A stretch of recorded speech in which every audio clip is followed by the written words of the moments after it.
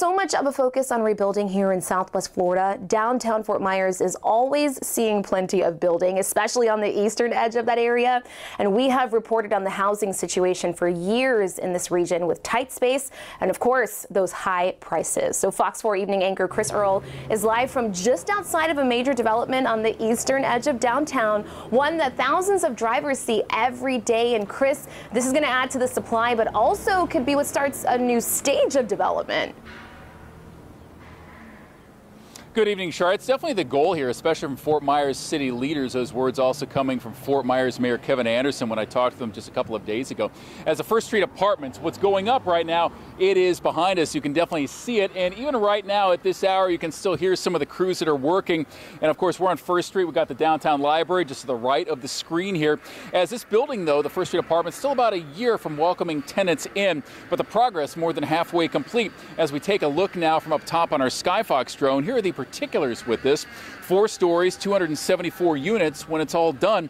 But this was an empty lot for a few years, and before that, First United Methodist Church was here. But this also comes as downtown Fort Myers is seeing more attention and more of a focus for tourism after Hurricane Ian hit, as with this location just blocks from the nightlife as well. We talked with the mayor who sees the progress every day from his office at City Hall and how this could help with the housing supply right here. Here we happen to have a high demand because of all the people moving here and a low supply. So the, the more we can do to uh, increase that supply, hopefully it'll cause the, the pricing for rental units and homes to kind of level off, stabilize more.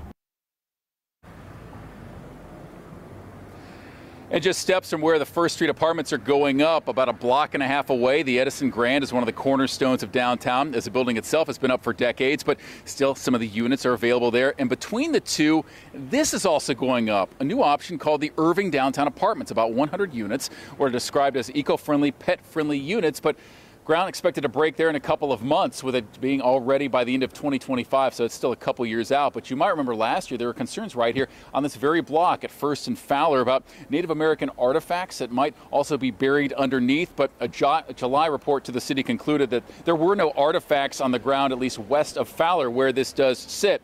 But still ahead at 6, we'll also take a more of a tour throughout the downtown area.